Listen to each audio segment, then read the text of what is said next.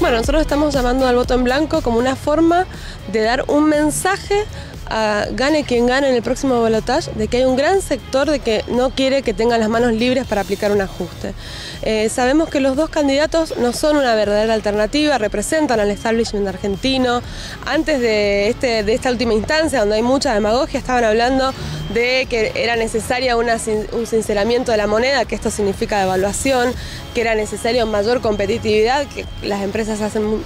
más competitivas muchas veces, este, aminorando los salarios de los trabajadores, que se iban a acabar con los subsidios a los servicios, que esto significa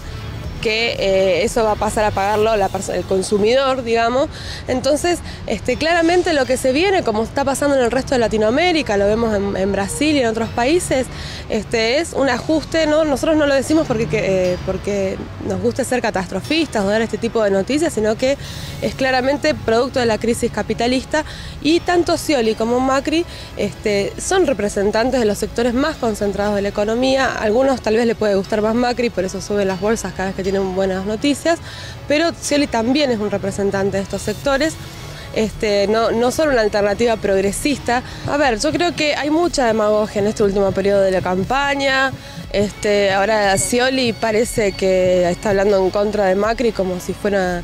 eh, como si fuera algo muy distinto, dice que no se va a aplicar ajuste, que no va a devaluar, pero es claramente lo que están discutiendo sus economistas. Y este, Macri está diciendo que va a ser un cambio económico gradual, es decir, bueno, usan muchas palabras para intentar confundir, yo creo que el debate va a ayudar a clarificar, pero bueno, eh, ojalá pudiéramos hacer, todo el pueblo trabajador le pudiera hacer preguntas, por ejemplo, bueno, ¿cómo van a hacer para para decir todo eso que están eh, para hacer todo eso que están diciendo, ¿no? Así es que bueno, me parece que va a ser una instancia muy importante. Este, bueno, nosotros también por eso Nicolás del Caño estaba pidiendo espacios gratuitos de, televisión también para poder decir hay otra opción, hay una tercera opción que es el voto en blanco y que bueno, muchas veces en la historia se ha utilizado, incluso Saramago tiene un cuento que habla de que se daba una rebelión mediante el voto en blanco este, o el peronismo, incluso cuando estuvo proscrito el peronismo, históricamente ha sido utilizado como un recurso para dar una posición política, ¿no? lejos de ser abstencionistas en este debate tan importante que hay en el país, nos parece que hay que dar un mensaje.